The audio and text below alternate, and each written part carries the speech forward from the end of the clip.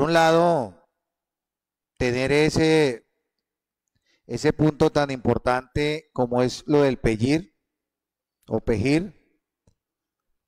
Yo creo que era el momento, pero también solicitarle a la administración municipal que no solamente es aprobar esta actualización y qué bueno que estos asentamientos, estos lugares tengan ahora esos espacios o tengan esa posibilidad de que se les tenga en cuenta. Pero yo sí quiero solicitarle a la administración municipal, a ENSERPA, hacerle un seguimiento exhaustivo a las empresas que se le va a entregar esta herramienta.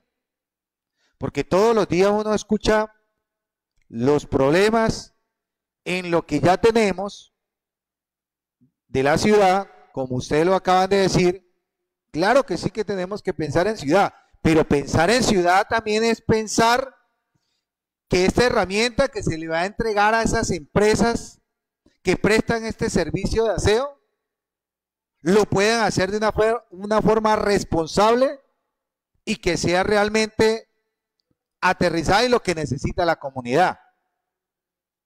Porque en nada seguimos entregándole a cuatro empresas de aseo que tiene el, municipio de Arauca y no hay solución. Todos los días hay quejas.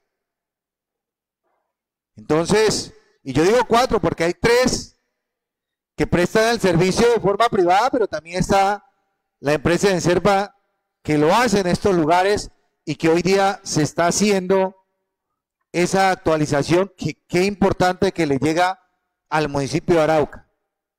Y si estamos pensando en tener una ciudad bonita y tener una ciudad que con este proyecto que habla de la parte de iluminación, pues tiene que ser concordante una cosa con lo otro.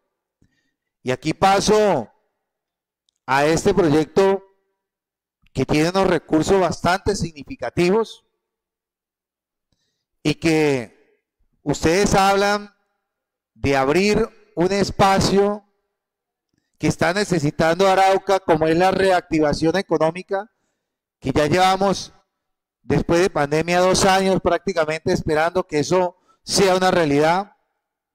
Y está muy bien que esta administración esté pensando en hacerlo por medio de este alumbrado que se va a hacer en los diferentes puntos de la ciudad.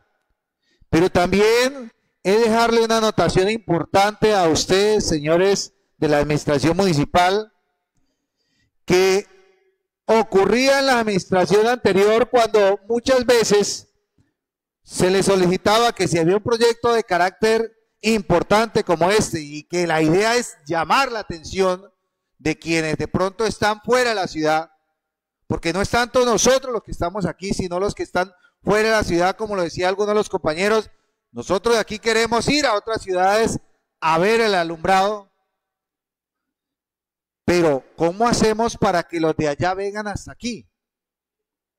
Y yo aquí los invito a que la administración, si bien ahora no veo el punto de la promoción, pero para, que unos futuros proyectos piensen en esa promoción.